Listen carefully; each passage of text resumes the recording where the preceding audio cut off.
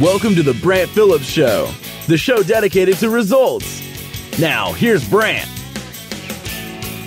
Welcome, everybody, to the Brant Phillips Show. Yes, this is the show that helps you create results in your life and in your business. So, the topic and focus of today is hindsight is always 2020.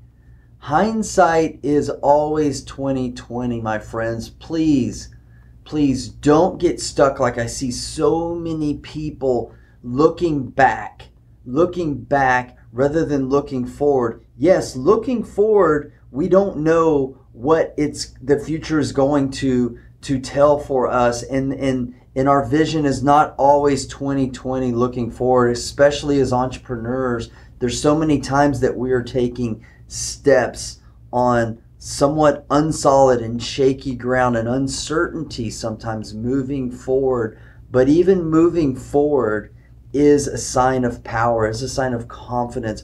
In, in, because whenever you are looking back, you're just going to continually stay stuck. So this has been on my mind lately because here in Houston, Texas, the time of this recording, we're in the aftermath of Hurricane Harvey and the flooding and it's so easy for me to say that hindsight is 2020 you know looking at the results from this hurricane and all the flooding that we experience about you know so many things that could have been done differently with uh, the way in terms of the things that the city could have done with roadways with flood plain flood plains with creating retention ponds in areas. They could have required builders to build higher. That's something that we've already begun seeing over the last few years. Um, not just in terms of standard elevations, like we've got standard elevations we have to meet, which may be six inches to an, a foot higher, but there's literally areas of Houston now where they've begun lifting homes four, five, six feet up in the, the air. And that's going to become a really big thing now thanks to hindsight after seeing what has happened. You know whether or not you have flood insurance you know and me as an as an investor i had multiple properties that were that were damaged and affected by the floods without flood insurance.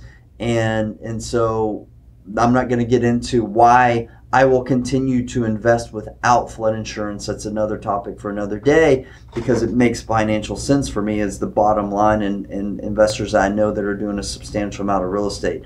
They don't have flood insurance. But for homeowners, there were so many homeowners in the Houston area that were impacted by the floods because they weren't in a flood zone, so they didn't have flood insurance. And so there there's just a lot of, you know, really a lot of really sad, depressing, devastating types uh, of things that ha- that have happened because of this storm, right? And but what happened, you know, it it is what it is. And at the time of this recording, we're about a month removed from from the storms and from the flooding and what has happened. And so really we, we only have a couple of choices, right? Like we can as, as people and as a, uh, collectively as a city. And and you know more you know i'm more focused on on on, on for for investors for entrepreneurs right? So we we we have a choice to to sit and stew and bitch and moan and cry about what has happened or we have the opportunity or we can look back people are looking back shoulda woulda coulda you know, I should have had flood insurance. The city should have done this, blah, blah, blah, uh, you know, victim stuff. And, and it's hard for me to use the word victim because I understand that people suffered some substantial losses. There, there were people who lost their lives or people that lost their belongings, and I get it, and it is hard. That doesn't remove the fact that they still have the opportunity and the choice to begin moving forward with their life. You know, um, I don't know if y'all saw this stuff that was happening on the news with with uh, with Lakewood Church and Joel Osteen, how people wanted to. Uh, they opened up like the Houston Convention Center. They didn't open up uh, Lakewood Church because until the, the floods began to recede, because those who saw some other pictures that I did. I know some people. I attend Lakewood um, quite frequently. Um, there was flooding where like it was up to the brink where it was about to fill uh, the the the church essentially. And people, so a lot of people don't know this. Before, when the Rockets used to play there, it flooded. Like that building f- actually flooded.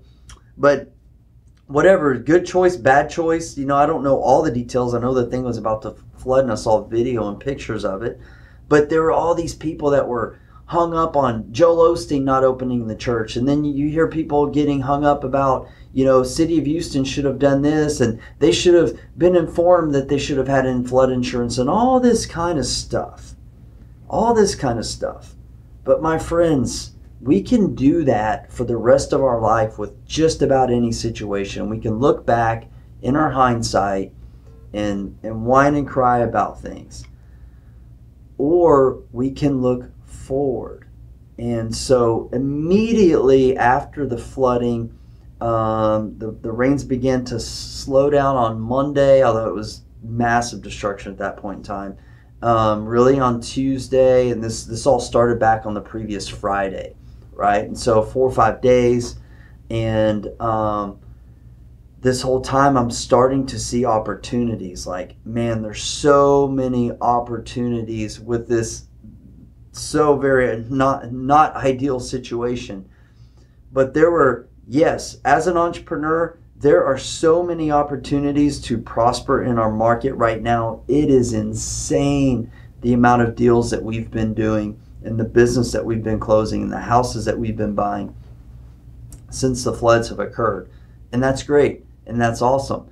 Guess what? If I had if I could pick, I would say no floods, no thank you. I don't need this business. I would have preferred to not have the flooding and what the chaos it's created cause and the and the destruction. But I also saw opportunities to help and serve. There were so many teaching examples for my children. There was even opportunities for my wife and I to get together and, and get her a lot of stuff out of our homes. Like we immediately, like when we're locked up in our home or trapped up in our home, saw the the flooding. Like we're we're getting out trash bags we were um, putting bags and bags and bags of clothing to give away and toys to give away. Cleaned out our pantry, had food that we had, you know, just like old canned goods, and just like gave us an opportunity to clean house. Um, a few days later, um, I took my son and my nephew. Uh, we went along with another church to go do, you know, mu- they call it muck outs, like just like help people rip out sheetrock and flooring and countertops and whatever they need help with to just demo these houses. So it was a great opportunity, um, you know, to experience some things with my children and give them opportunities just to learn from this and see, you know, what, what, what, you know, happens. Like this is life. This is just what happens. But there's immediately opportunity there, right? So, you know, the most important thing in life and in business is whenever we have setbacks, whenever there's times of, of, of destruction, when there's times of you know natural disasters or just internal disasters, right? Like meltdowns in relationships and businesses and deals, you know, the quicker that we can extract the lesson, like what happened, right? And apply that lesson, whatever it is that you learn, extract it and apply it to the here and now and use it moving forward, we will be so much better prepared um, whenever that next you know hurricane harvey hits in your life or in your business. And then when we have time to reflect in the future you may just be more experience more satisfaction because you did the work.